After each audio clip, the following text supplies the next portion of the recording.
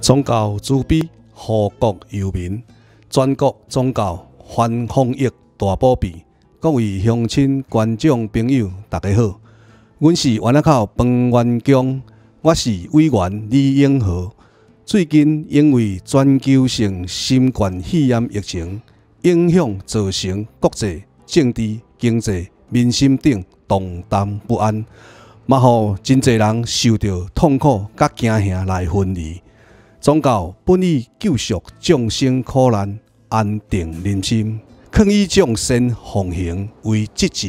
今天代表本元江管理委员会全体委员，共同为众生来祈求祝福。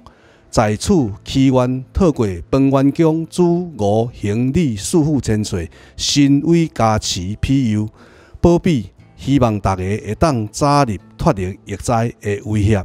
甲折磨，一切得以原谅无碍，祝大家平安顺利，感谢。